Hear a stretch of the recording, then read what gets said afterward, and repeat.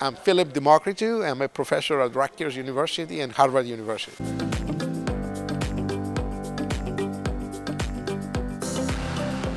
Okay, well, I'm, I'm from the academia, so it's not really a company, but um, actually sustainability uh, in agriculture food systems is it's very high on our priority list. So we are even developing actually educational um, programs to help um,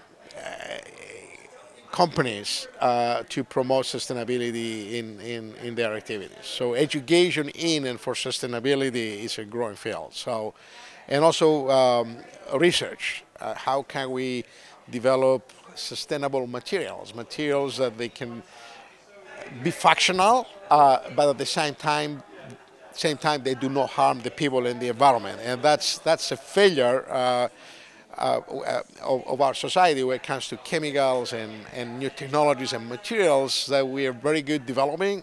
Uh, but we did horribly in terms of uh, avoiding to put out there chemicals that they can harm the environment and, and, and, and, people. And we come back 20, 30 years later to clean the mess, and that's completely unacceptable.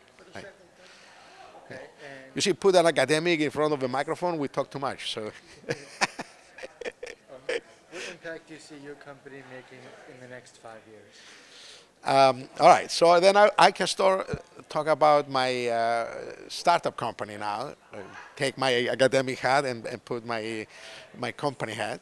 Um, uh, in five years, I mean, this company is in the space of functional food, food that can give you uh, beyond the nutrients that we all need. That's why we're eating. Um, additional benefits in terms of health. So we're trying to um, commercialize uh, these uh, nano food ingredients, which is completely natural. It's a fiber uh, from from plants um, to um, enhance the uh, the quality of the food and health. Um, you know, by controlling the digestion and um, bioavailability of carbohydrates or fat, things that they, we, we want to avoid. So if we can really, uh, by adding a natural ingredient that um, it's, it's toxicologically benign, if we can um, enhance our food experience, that would be a plus. So uh, we, the company just started, so we are hoping in five years to, uh, to have um,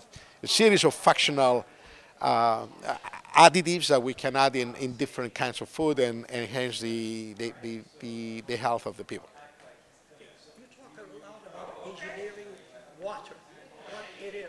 Okay, that's um, yeah, that is another technology for we, which we can use um, for food safety. So we, even water, if you can change its structure and you turn it into a, um, these water nano structures, you can use them.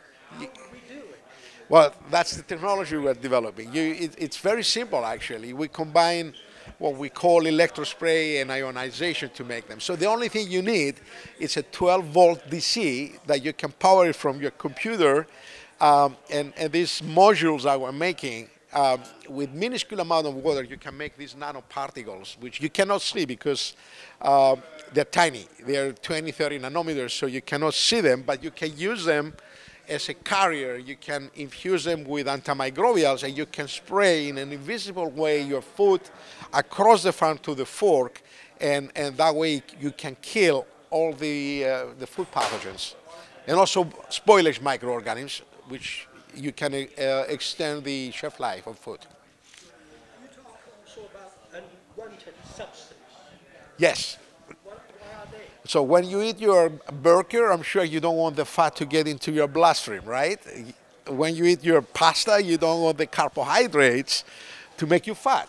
Those, those, or you don't want the pesticide residue that might be on your salad to make it systemic and go to critical organs and can make you sick. So those are substances that we don't want. But they are there. They are there. It's part of the food culture. I like to eat my, my burger, but I don't want the fat. So there's also things related to culture. Yes. Yeah. Yeah. I, I totally agree. I'm Greek. So uh, if you ask a Greek or Italian, don't eat meat and convert to uh, 100% plant-based diet, I'm gonna do it. So I agree with you. But that's why can we make our food that is culturally acceptable uh, healthier? And we're trying. That's what, exactly what we're trying to do. Engineer natural ingredients that you cannot in minuscule amounts in your food without changing the taste that will help you uh, to, um, to make your food healthier.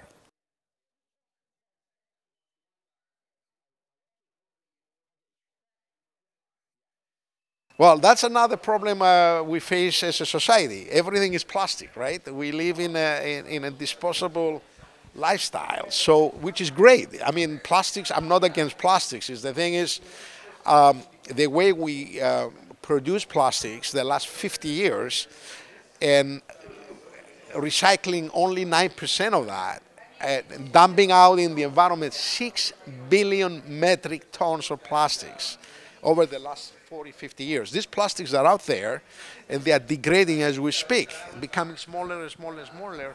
Now they are everywhere. They contaminated the water we drink, the food we eat, the air we breathe.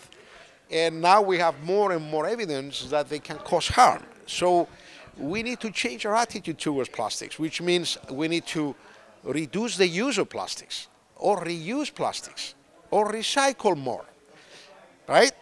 And also for those that we cannot really reduce the use or recycle, can we use some biopolymer plastics that they are biodegradable? And when we throw them out there, they will disappear. So that's what we need to do.